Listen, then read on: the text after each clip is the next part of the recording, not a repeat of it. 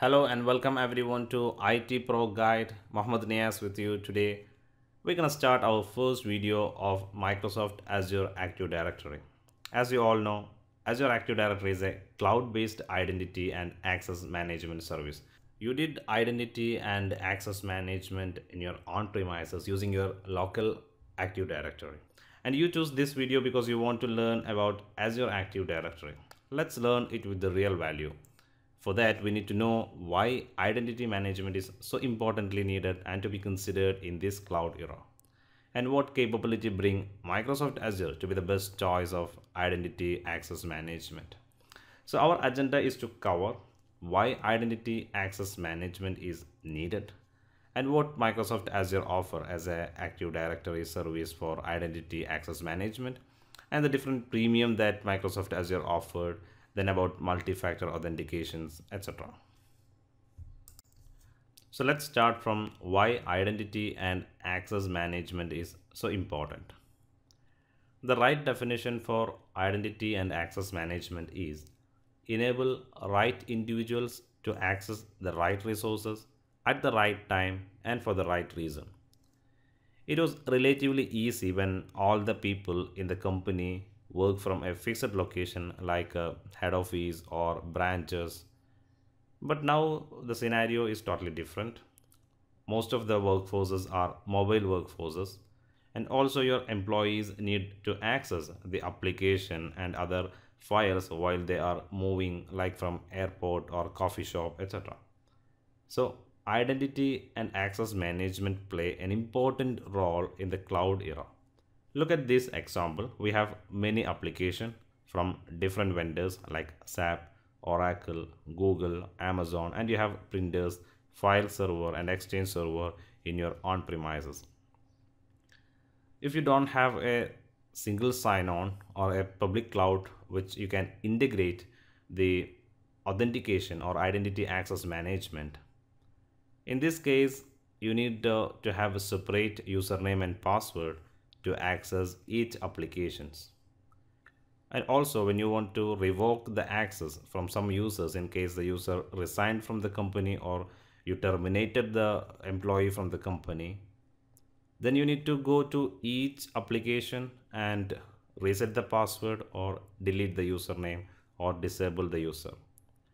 This is going to be an headache and it is not that easy for an enterprise organization. So a centralized cloud-based identity access management can solve this issue?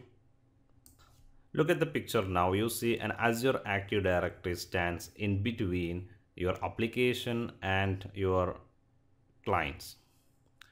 So whoever want to access the application from different vendors, Azure Active Directory, which is a public cloud identity access management, can provide authentication service. By that way, you can control the access management to all the application in your organization from Azure Active Directory.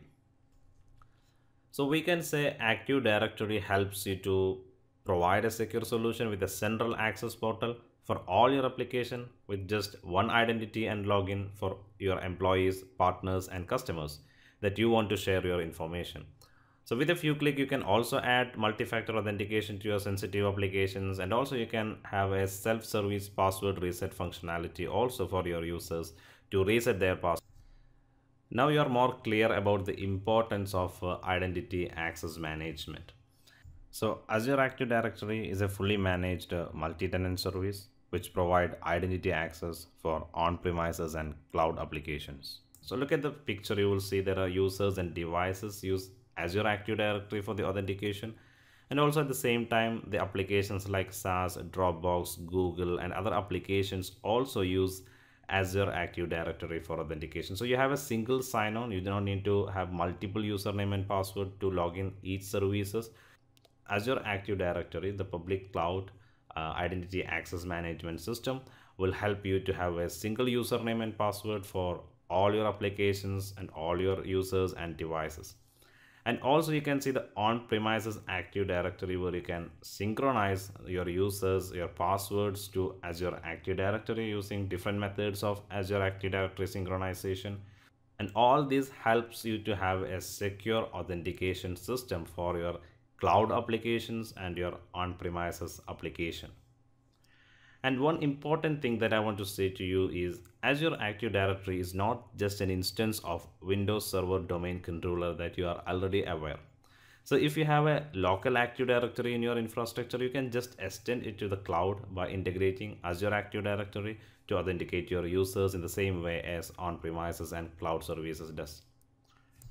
What you see now is a comparison chart of the Azure Active Directory uh, features compared with the different editions. Uh, there are three editions Azure Active Directory free, basic and premium and also Office 365 provides some kind of Active Directory features. When you look at the common features that is available uh, for free is uh, 500,000 objects and also provide single sign-on ability for 10 apps per user. The premium feature provide a self-service password reset for cloud users a self-service password change is available for cloud users with Azure Active Directory free, but for a reset is available only with Active Directory Basic and Premium. Then you have uh, different kind of reporting and also privileged identity management, identity protection, then automated password rollover. Many functions comes with uh, uh, premium features and also which provide multi-factor authentication also and when you look at the Azure Active Directory uh, Windows 10 uh, related features, to join a device to Azure Active Directory, you doesn't need any kind of subscription. You can join Active Directory uh, free subscription. But if you want MDM auto enrollment like Intunes and all, then you need to go for Azure Active Directory Premium uh, P1 or P2 that is comes with uh, enterprise mobility and security. Azure Active Directory business to business and Azure Active Directory business to consumer you can create uh, cross-company relationships by inviting and authorizing users from your uh, partner companies to access your resource. With this process, each company uh, federates once with Azure Active Directory and each user is then represented by a single Azure AD account. This option also provides a higher security level because if a user leaves the partner organization, access is automatically disallowed. Azure Active Directory Business to Consumer supports signing into your application using uh, social networks like uh, Facebook, Google, or LinkedIn and creating developed account with username and password specifically for your company owned application. So these two are interesting if you have uh, cloud-based applications and then you want uh, uh, to provide Google or Facebook based authentications, then this is going to be uh, an option that you can easily integrate with your cloud applications. So I'm going to wrap up this session. We discussed about uh, Azure Active Directory and its importance, different editions available and some of the capabilities of Azure Active Directory. In the next video, I'm going to show to you the different methods that you can synchronize your on-premises Active Directory with Azure Active Directory. I think this is the first step that you all uh, wish to do in your uh, environment because you need to bring your on-premises users to Azure Active Directory and you need to know what are the possible methods that are available and which is the most secure way that is uh, adoptable for your organization. So thank you for watching this video. For more videos subscribe my youtube channel